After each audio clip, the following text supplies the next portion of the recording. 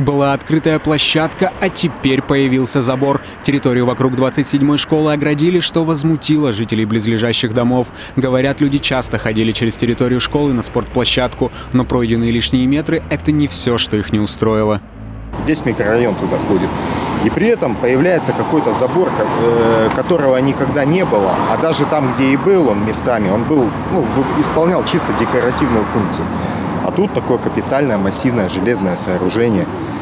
Э, страшно представить себе, сколько на него потрачено. Может 10, может 15 миллионов. Я думаю, суммы исчисляются в миллионах. Да?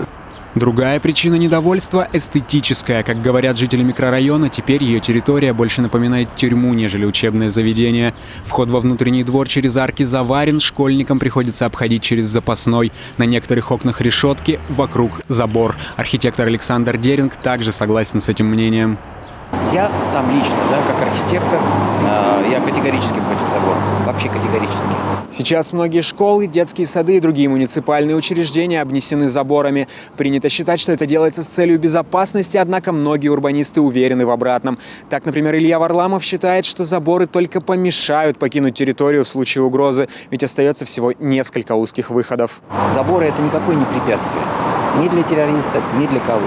Это только действительно э, затрудняет э, и препятствует там э, любым там и пожарной технике и прочим экстренным каким-то вещам. Мне кажется, это, это совершенно глупости.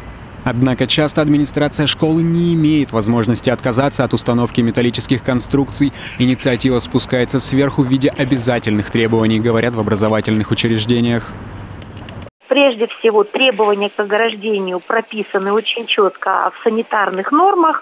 Вот если мне память не изменяет, по-моему, пункт 3.1, э, ну, здесь еще вот нужно уточнить. Там как раз четко прописано, каким должно быть ограждение, цельным, локальным и так далее.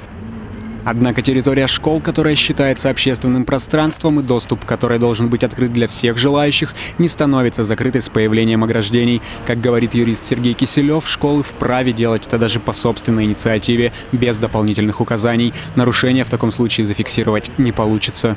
В данном случае э, руководство данного учреждения, оно э, несет не только ответственность за сохранность э, всего имущества, но и Э, за сохранность и безопасность тех лиц, которые э, в данной организации работают, либо находятся в течение всего периода существования данной организации.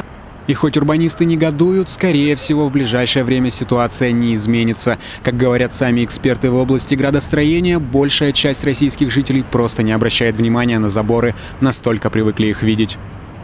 Артем Гусельников, Дмитрий Денисов. День с толком.